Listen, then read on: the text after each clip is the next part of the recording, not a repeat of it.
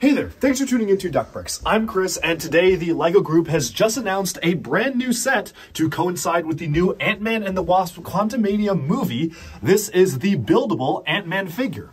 Now, this is honestly a bit of a source of controversy for many people online, because the leaked name of it was revealed a while ago, and I know that a lot of people were actually hoping we would get a set based off of the movie with minifigures. Unfortunately, the set does not feature any minifigures, despite it being the only buildable figure where it would have kind of made sense to include figures. And instead, it just has a big brick built version of Ant Man as well as a little Wasp microfigure.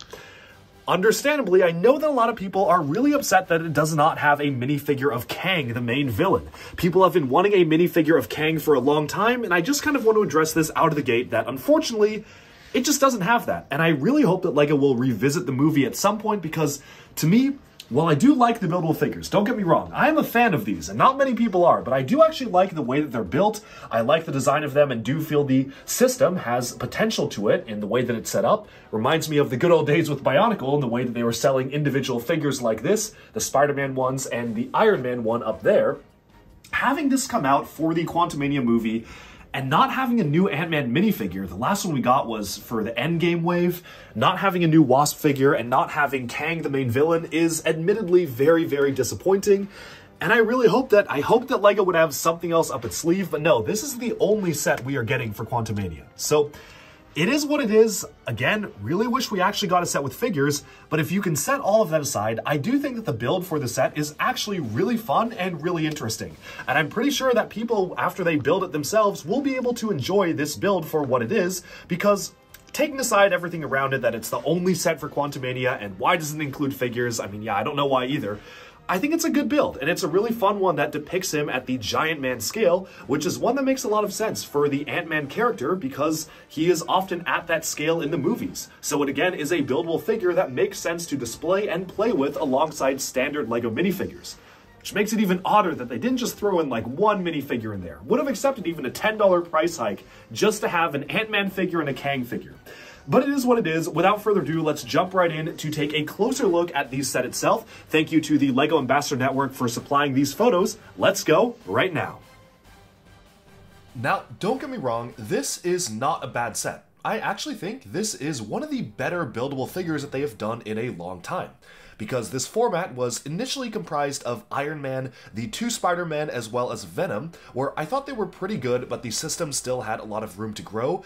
I'm not seeing all of these suggestions on improvement that I would have liked to see, particularly ball joints for the upper legs instead of the ratchet joints, but I assume that's more because of stability rather than posability, because the ratchet joints, despite them being a little bit harder to pose, are definitely a lot more stable for kids to be able to play with the set. That being said, the rest of the build is actually pretty good. And again, this is one where it makes total sense to actually have it as a buildable figure, because you can play with it with minifigures.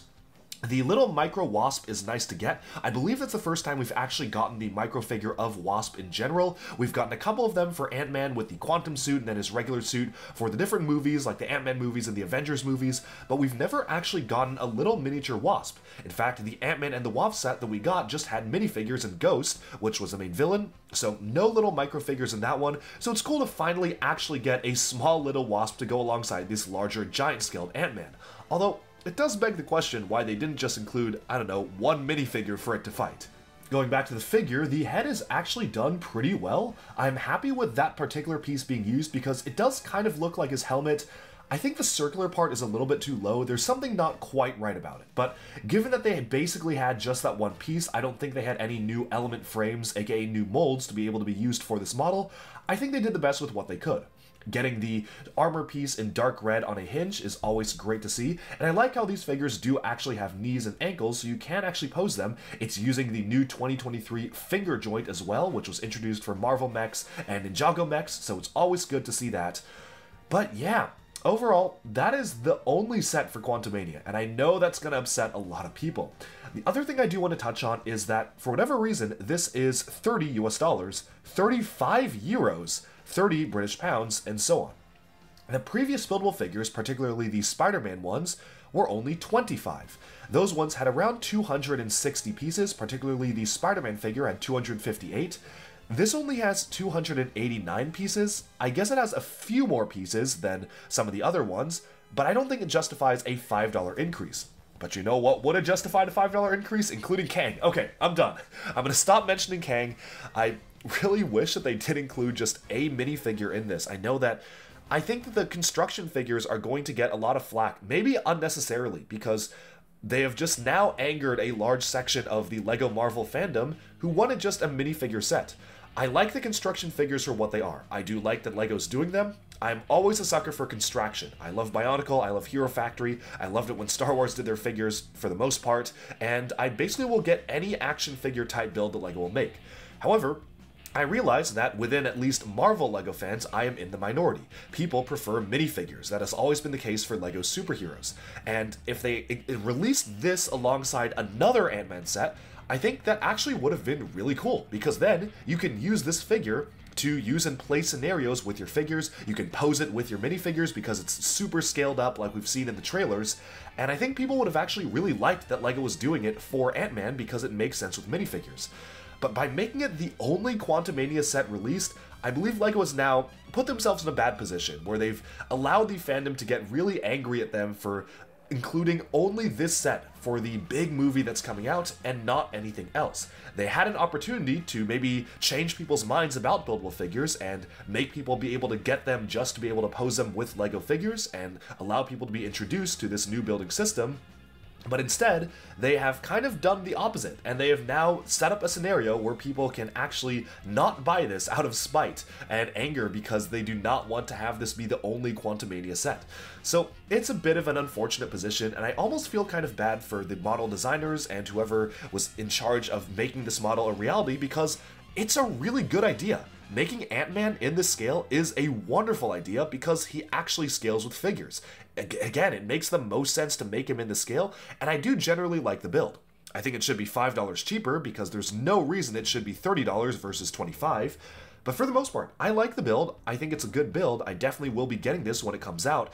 It's just so unfortunate. It's the only Quantumania set. And the launch date of May 1st is quite odd as well, although I think that's a little bit more understandable due to production issues and the movie actually getting bumped up. So it is what it is. It's not the best scenario to be in. I've already seen a lot of anger and vitriol from fans online. I do kind of understand it, but at the same time, I'm glad we're getting anything for Ant-Man and the Wasp Quantumania. I just really wish we got minifigures. Alright, so with that we've summed up our look at so far the only Ant-Man and the Wasp Quantumania set that is coming out. This will release again on May 1st. It was because the movie initially was supposed to come out around that time. It was pushed up to come out now, basically, which is why LEGO is unveiling this product now, but what had happened was that they just didn't have it ready in time, so May 1st is literally the earliest possible date they can have it ready. It's all kind of a mess, the situation with the movie getting moved up and then now it doesn't have figures. I don't really know what was going on in the behind the scenes of why the set got so pushed back other than maybe the movie being moved up, but for what it is, I do like the set. I think that for the buildable figure series that they're doing with Marvel, we just got rumors of three more coming this summer, Batman, Wolverine, and Captain America. I think Ant-Man makes the most sense to do it out of because it is a recognizable shape and form that scales well with minifigures. But for the only Quantumania set, it is a little disappointing because, again, just really wanted that Kang figure. Although, I'm sure that people won't have to wait too long. Obviously, the next Avengers movie, Kang is the main villain. So if you're not getting him now, you're definitely getting him for the Avengers sets when that movie comes out. So just wait a few years, you'll have your Kang figure, but it would have been cool to get him this early as well. With that, we've summed up our look at the brand new LEGO Ant-Man set. It is an interesting one, an odd choice for the only set for the movie. I know a lot of people are going to be really angry about this, and hopefully it doesn't turn people off from the buildable figures, because I do think they're a cool concept. They actually are really good and fun to play with.